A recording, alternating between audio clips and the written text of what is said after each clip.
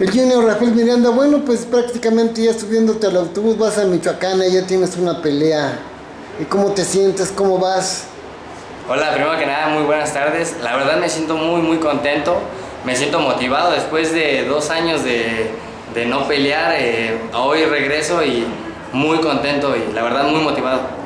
¿Cómo te has preparado para este regreso? ¿Cuánto tiempo?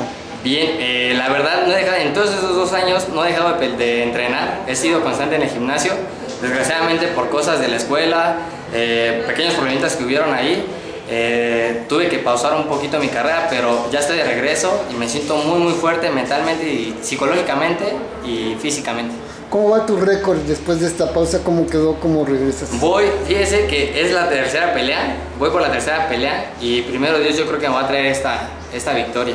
Voy fuerte, ¿En qué peso vas en ahora? superpluma.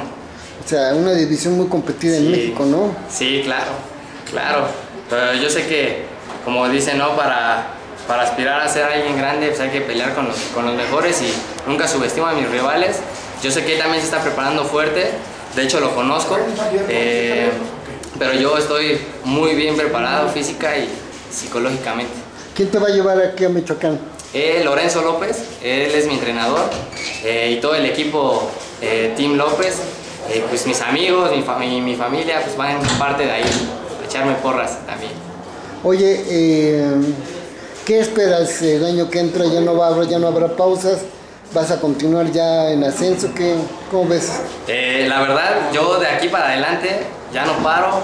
Primero Dios, es algo que me comprometí yo mismo conmigo, que le iba a echar ganas, que iba a salir adelante y no, no pienso parar, porque yo sé, tengo mucha hambre de triunfo, de, de todo, por salir adelante y pues es algo que me gusta, me apasiona y de aquí para adelante, primero Dios. Un reto personal, un reto propio. ¿Y de estudios qué estás estudiando? Bien, ¿qué cree que me di de baja temporal ahorita por, precisamente por el boxeo? Está estudiando ciencias del deporte, incluso les mando un fuerte saludo a todos mis amigos de la White aquí en Marina Nacional. Eh, sé que muchos de ellos me están apoyando, estaba estudiando eh, ciencias del deporte y ahorita pues ya eh, voy a retomar mi carrera y pronto ya estaremos regresando igual a estudiar.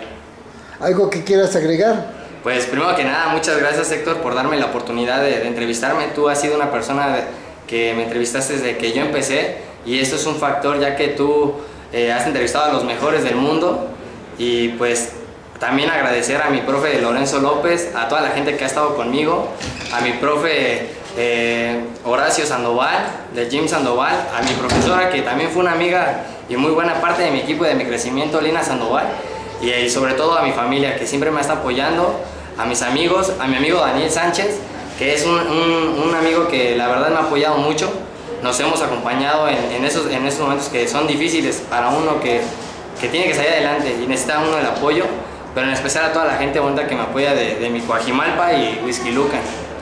Pues ahí estamos y este siempre será un foro abierto para ti. Gracias por tus palabras para Boxeo Knockout. Gracias, Héctor. Luego, Saludos. éxito.